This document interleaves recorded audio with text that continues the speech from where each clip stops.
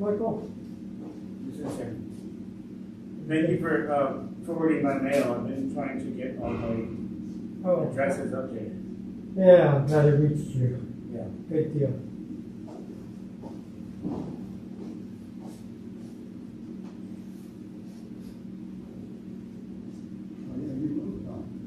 I'm off the island now. Somewhere. Good morning, Cynthia. Hi. What's new, Mike? Well, just here in, Cincinnati, but I'm still trying to settle into my new neighborhood. Off the island now. You're not what? The island. Yeah, I know. So, how's that going? It's good. I like having my own apartment, but I don't necessarily like my people in my building. It's Oakland. It's okay, yeah. You get this yours? I think that's Howard. He's saving his spot? Yeah. Oh. Yeah, it's a transition. What happened with your, but that's sort of temporary, right? Till your buddy finishes. Yeah, it's In of longer term. But I'll still be in the same neighborhood. So, where's your old car, your vintage? Uh, he's keeping it in his driveway. Oh, that's So right, he's okay. like a block and a half away. Oh, that's, So yeah. we're kind of like extended roommates. Like he's gonna be on my couch next week. Uh-huh. his sisters come to town. So, like, you know, I babysit his kids and Right. so it's like, you know, Well, that's nice to be close, to have someone.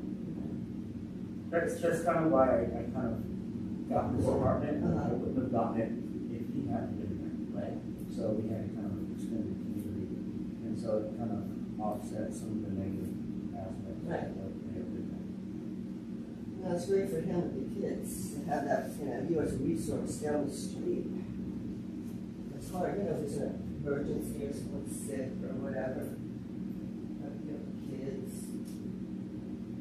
No, it's great. I mean, mean, I love his kids too. So we just went to, uh, we just took his, um, his daughter who's just turned thirteen, and we had tickets to, uh, Burger Boogaloo, which came to Help Band, and so we went to go see Riot Girl band, uh, which is like a girl punk band. Oh, yeah. And so the whole thing is like they don't let men from the stage.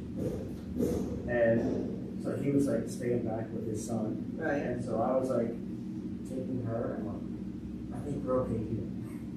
And so we got kind of close to the stage and, she, and she was nervous too. She didn't want to really go there. She's like, oh, this is close enough. Uncle Michael. So I'm Uncle Michael. And uh, it was great. We watched the whole show.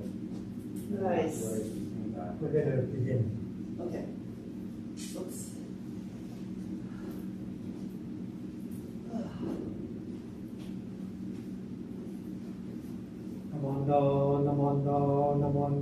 Namanda.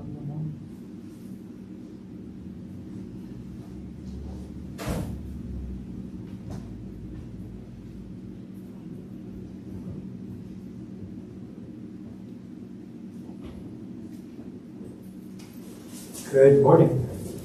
Ohayo gozaimasu. Nice to have service again and appreciate everyone being here. So for today, this is our family service today, and uh, let me go through the service order with you.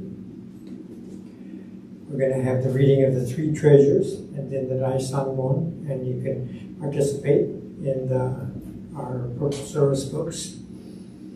And we'll have our sutra chanting of the Sanbutsuge and the Juseige. Uh, Sanbutsuge, page 2425. Juseige is page 93, I believe. Nembutsu and Nekoku will complete the chanting portion of the service, and I'll come back for our Dharma message.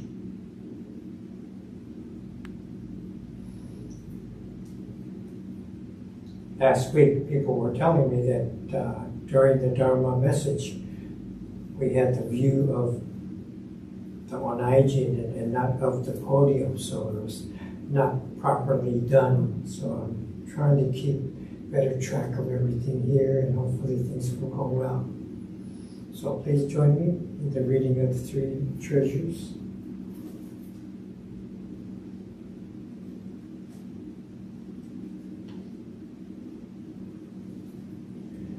Hard is it to be born into human life. Now we are living it. Difficult is it to hear the teachings of the Blessed One. Now we hear it. If we do not realize the truth in this life, when will it be realized? Let us reverently take refuge in the three treasures of the truth. I take refuge in the Buddha. May we be, may we absorb ourselves in the principle of the way to enlightenment and awaken in ourselves the supreme will. I take refuge in the Dharma. May we be submerged in the depths of the doctrine and gain wisdom as deep as the ocean. I take refuge in the Sangha. May we live in harmony in the great assembly as disciples of Buddha and be freed from all hindrances, becoming units of true accord in the life of harmony, in the spirit of universal oneness, freed from the bondage of selfishness. Even through myriad ages of kalpas, hard is it to hear such an excellent, profound, and wonderful doctrine. Now we're able to hear and receive it.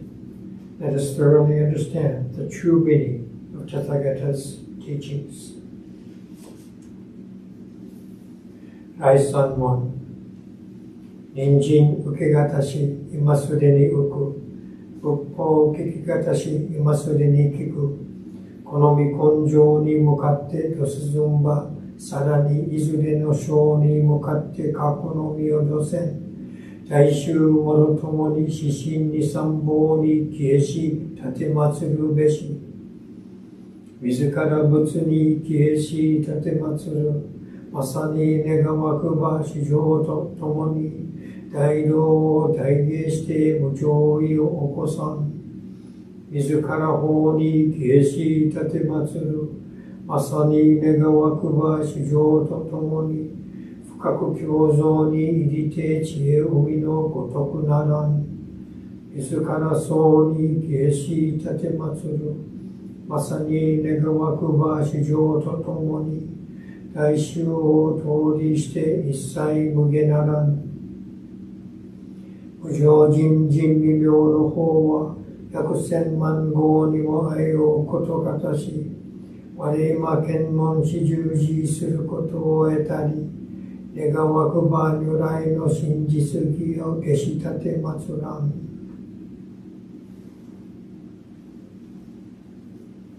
南無阿弥陀仏。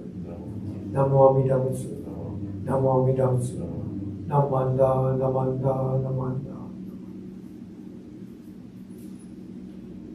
chanting, Sambujo.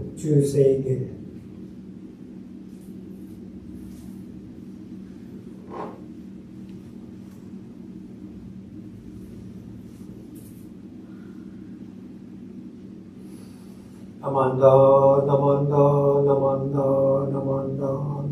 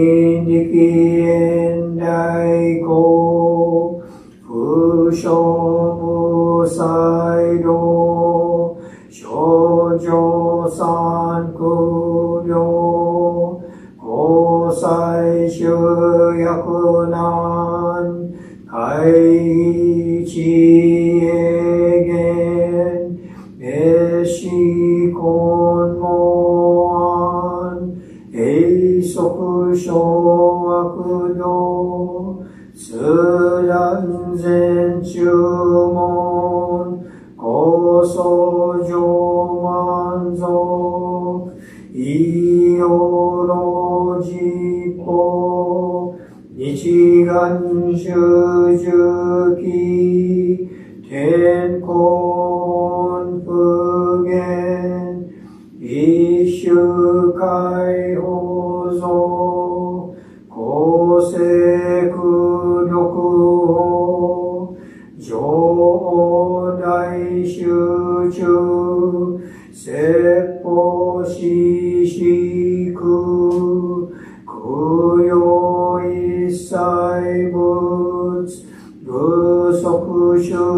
職音、観念心情満、徳一三外用、分無下地、すらに不祥、願学へり、投資最小尊、がにゃか大聖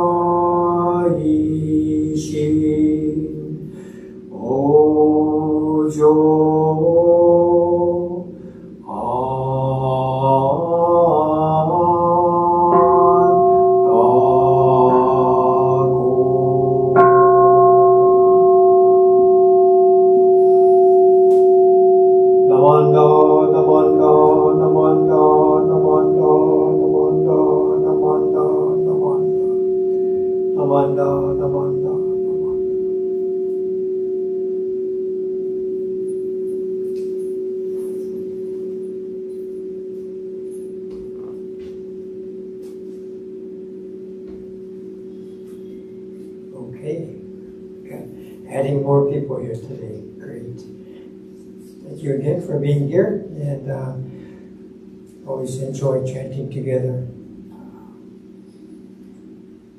And there's more people, the sound is fuller. So little by little, we're going to grow our sound and make it back to, to the usual. So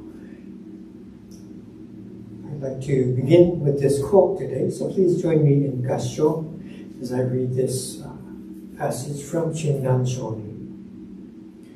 To be transformed means that evil karma, without being nullified or eradicated, is made into the highest good, just as all waters, upon entering the great ocean, immediately become ocean water. Namo Amidabutsu, Namo Amidabutsu, Namo Amidabutsu, Namanda, Namanda, Namanda. Is a very nice quote, and in this passage, it is pointing to enlightened beings, you and me, being transformed into an enlightened being, a Buddha. Our lives of dualistic perspective, darkness and light, hell and the pyramid, good, bad, do not remain in contradiction. Instead, we come to the light without removing the dark. We come to the pyramid without leaving hell. Beyond choosing one over the other, we come to both in simultaneous inclusion, both becoming one. This is important. This is what you have to remember today. This is the essence and the gist of Jodo Shinshu Buddhism. So you think about this quote, ponder it for 20 years, and then start again. Okay? But today, I want to talk about the warriors. so, uh, many of us, particularly here, in Alameda, in the Bay Area, we are fans of, of the Warriors and really enjoyed their season, culminating in the championship, and so many stories of each of these individuals that just came to join the team, and then the older stars, young ones coming in, and such a mix of stories that everyone, everyone just fell in love with the, every aspect of the team. And so for them to culminate that by coming together in such a successful manner was really uh, kind of a storybook uh, fairy tale ending. So one of the scenes when they won the championship, the final buzzer, playing against Boston, and they showed Jordan Poole finding Klay Thompson, and they just enjoyed this big embrace, hugging each other, and a big smile on each face.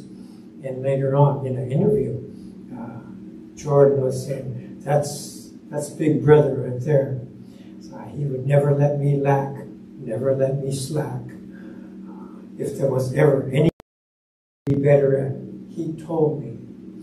He was calling me over to work out with him, to get up shots with him. He's one of the greatest shooters of all time. And being able to have somebody who embraces you like that, just putting me in a position to be successful. And he was so happy that they had this relationship, that he was taken in by, by Klay, and that they had grown together closer and closer as the season wore on. And could be just a story of mentorship, uh, an elder team member taking in a young kid and, and, and you know, helping him along, but there was so much more to the story.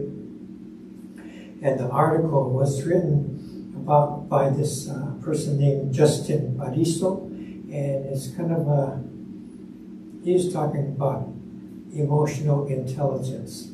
This is maybe some of you are aware of that. You look it up and you'll see it all broken down, and a lot of uh, companies are using this emotional intelligence. They call it EI, and, and you'll see it these days. Uh, and basically, it's kind of like how people see each other, how they interact with each other, how they treat each other, and how groups, companies, or business, businesses can develop their environment make it safe, supportive, and successful. Right? So he's pitching this. I enjoy the story of the warriors. You know, it's really intriguing and, and to look upon their success and, and to read about all these different stories. I really enjoy that. I'm a little bit hesitant about the sales pitch that was woven into his article, right? Because when I think about the temple, successful temples have always done this by living and practicing the Dharma, right? And so you see this and how our members carry each other, and maybe this is something that attracts us to the temple. We look around, see how people are uh, treating each other, respectful of each other, and encouraging and welcoming. This is why we come. This is why we want to come. And so you see these same kind of traits, and it's not repackaged as emotional intelligence, but this is our practice everyday practice here at the temple. So in the story, um, if we remember, you know, three years earlier, 2019, and the warriors are kind of getting beat up and people are getting hurt, and, and Klay, you know, injured his uh, ACL, tore his ACL, and right after that, the next draft, they drafted Jordan Poole. So kind of looking like maybe he's the replacement for Klay, right? And many times we see the older ones, they get hurt, maybe they feel like they're threatened, their job's going to get taken, and you know, who's this new kid? So he has jealousy and fear, you know, percolating in himself, you know, and it could become an awkward relationship with this new teammate. It could extend into the other people in the team, but instead, Klay takes him in in this mentorship kind of thing, and so you know made me think of Joe Montana and Steve Young. Uh, it wasn't kind of like that, and so we see this again and again happening in a negative fashion, and so it's not always that we see it how it would play out with the Warriors and Jordan was saying that Klay took him under his wing and, and encouraged him, telling him to come, you know, to workouts together. And, you know, Klay was doing his own rehab, so he didn't travel with them when the team went to other cities. And so maybe Jordan would have a bad game or not make some mistakes and things that lead to a loss and Klay would text him or call him and give him some encouragement and talk about his own stories, what he did during his shooting slumps and things like this, and sharing his own kind of like tricks of the trade that helped him get through, help him to get better, and all these things to help Jordan become the best version of himself that he could possibly be. And through that, Klay's helping the team, Jordan's helping the team? And so in the article, besides all this happening between each other, they're talking about right after Klay tore his ACL. That was his uh, salary year, renegotiation year, and the team extended his five-year contract to Klay, right? $190 million. And, you know, others might have paid him less or tried to see maybe we could cut this, you know, cut some of our ties so our losses aren't so big, but they rewarded him for what he had done in the past, demonstrating loyalty. Klay was loyal, and the team showing that back to him. Since this is a huge, huge, powerful message, and as I read that, I remember that, huh? It's, wow, that's not the norm, that they would, who knows if he's ever going to even make it back they give him this five-year contract, and, and, it's always like, when you get back, you're going to start again, you know. And it's like understood. It's just understood. And so, in the article, when he's Justin's talking about the emotional intelligence, He's saying all these successful companies try to develop an environment, psychologically safe environment. And this is this emotional intelligence built into the culture of the company. And so, in our case, Buddhist culture, and when we come here, we want our members to feel protected, to feel safe, so that they can be themselves, and even to do things, to take risks when they try something, board meetings or something new at the bazaar. We encourage each other, and protect each other, and we do this all along. We do this already, automatically, right? So in the organization, in his pitch, he's talking about trust and loyalty to inspire individuals to be the best version of themselves, and then in return, they work hard. They work hard. We work hard. So looking back for myself, looking back on my own career as a minister, I've been a part of six temple sanghas, and I look back and I see these Buddhist values in action. From the temple leadership towards me, and most of all, providing trust, providing a safe environment uh, where creativity and play, I can try things and, and be encouraged, you know, do what you do, do what you want to do, try, try it, try it, you know, and then I feel to do the same and reciprocate the same kind of support to the membership. And so this is how it has played out. And I've had that. And I look back and see how I was treated with support and encouragement. Idaho, Oregon, Portland, Alameda, Southern Alameda, Enmanji, five out of six ain't bad. I'll take that. So I've talked about here that here at our meetings, right? The six paramitas, wisdom and compassion, not just teachings. This is how we live our daily lives, right? Uh, how we treat each other. And this is our practice. And then it becomes mutual in benefit. Each member and the temple as a whole thrives when we immerse ourselves in the Dharma. Right? We don't need to repackage ancient truths and they call it emotional intelligence or something. You know, this is something that our elders have shared for centuries already now. Just see it and share it as we always have. And I think uh, this is what we do, right?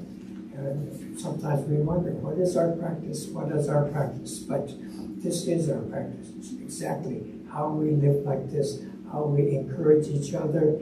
And, you know, it's not like a conclusion that finally I'm awakened. No, this life of awakenedness towards each other and living it together, this is an awakened life. We are the warriors. We are the champions. Please join me in Gassho. I'll read this quote again. To be transformed means that evil karma, without being nullified or eradicated, is made into the highest good, just as all waters, upon entering the great ocean, immediately become ocean water. Namo Amida Butsu.